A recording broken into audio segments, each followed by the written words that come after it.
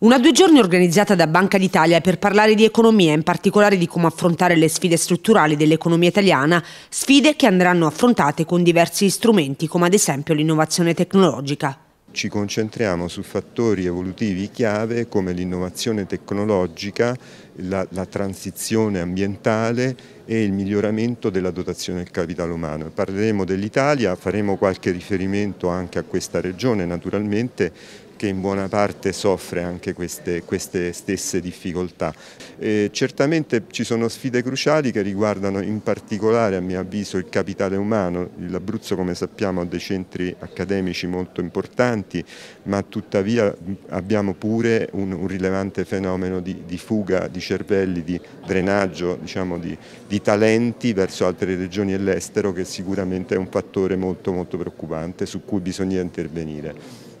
Era presente anche il direttore generale della Banca d'Italia Luigi Federico Signorini, ma anche realtà importanti come Università e Gran Sasso Science Institute. La rettrice di quest'ultimo, Pala Inverardi, spiega che loro fanno innovazione e ricerca da sempre, dunque contribuiscono in qualche modo al sostegno dell'economia. Il GSSI nasce come uno strumento di rilancio economico del territorio, quindi anche se noi facciamo eh, ricerca di eccellenza, in realtà abbiamo questa vocazione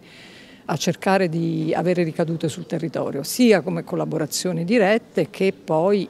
più indirettamente formando persone che possono poi entrare nel mercato produttivo. Certo, ora non è facilissimo, no? come al solito noi scontiamo il fatto di essere un'area interna, con problemi di collegamento, con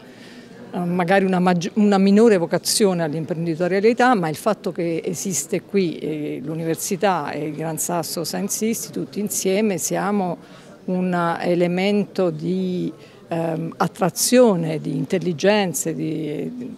di, di cervelli e, di, e poi di manodopera ad, ad alto livello di formazione